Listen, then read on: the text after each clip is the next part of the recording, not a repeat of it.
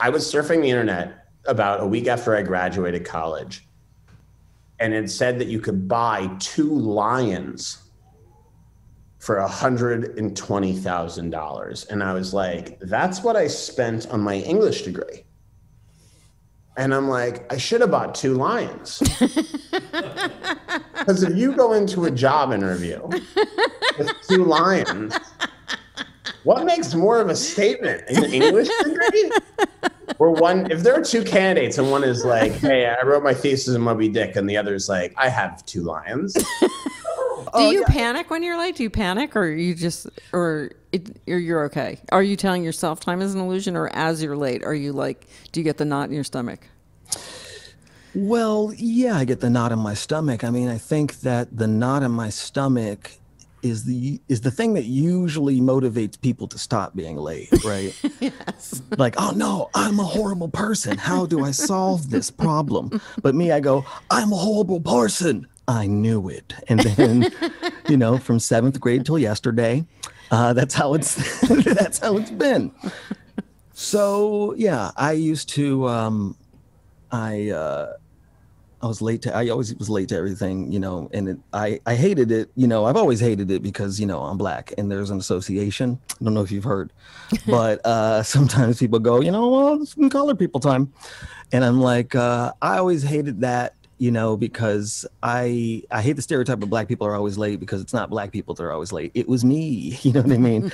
and I I do not represent all black people. So, you know, outside of saying time is illusion, I show up and I have to throw myself under the bus. I'm like, no, I'm uniquely irresponsible. It's not my entire culture, sort of a thing. Um, you know, and then I go into a rant about slavery, and usually people stop asking questions, which, which you bring up slavery. Taika Waititi, who did Jojo Rabbit, yeah, auditioned for his new film in January. Oh, and they called me in August. So of course I'm like, I don't even remember that script or the audition or anything. And they said they they'd like you to have it. It's between you and another person. They'd like you to have it by tomorrow if you could. And I had just rolled up into my mom's place. So basically what I did was I had my mom, who was 94, read for me. and I had my sister, who is 69 and clinically schizophrenic, very fragile. She's like, she's like the, you know, Laura to my Tom in the glass. and so I thought, well, you know, I mean, this is what it's going to be, and and this is, you know, this is you know, I don't like it, but this is what, you know, Taika is going to have to end up with. So I just noticed that when my sister was filming me, every time she would kind of come up and it would be like, end up being the side profile of me. You know, say, no, man, you know, go stand over right next to mom and just do head on. And she was like, okay, okay. And then I'd say action. And then she would just, I don't know why, away and it'll always end up being a side profile. So after several times, I just thought, you know what? You know, Taika's gonna get he's gonna get a side profile. video. That's what he's gonna get. I will go out just to smile sometimes because I it's like smile therapy. Like I will notice that I feel better. I it does work. Like the thing is that when you smile, it does do that thing. It's a little bit like laughing. So inside it is changing. So, in a way, it's an advantage to smile because you get the benefit of doing it. But in another way, it's super annoying that you have to do it because it's sort of being required. But by doing the thing that's required for a super fucked up reason, which is that you're supposed to be people pleasing, you get this weird benefit of having smiled and you get all the endorphins and it feels better. And then people smile back. And it's this whole like loop of like energetic smiliness that you're creating in the world just because, but this is not the same, of course, as somebody telling you to smile. You're walking down the street and some guy's, "Let's smile.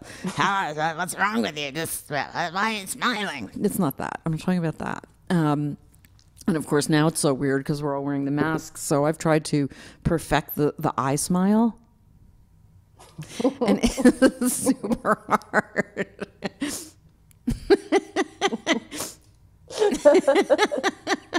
I, of course, was raised to please. A First girl season. raised to please? Yeah. Yes. No, of course. And then I have this face that, you know, nature gave me.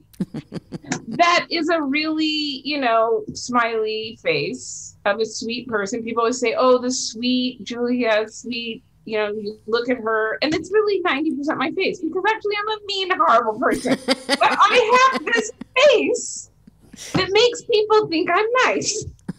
And it even hoodwinked me for the first 55 years of my life until I realized that my personality didn't really go with my face. My face could be fucking badass, tough face. But everywhere I go, hi, hi, it's this face.